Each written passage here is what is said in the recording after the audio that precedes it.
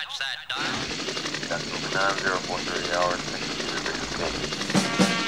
There have been mixes and dance tracks put together in the past.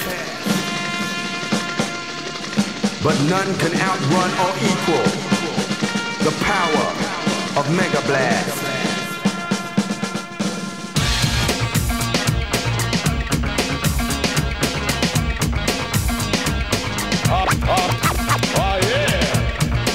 This out.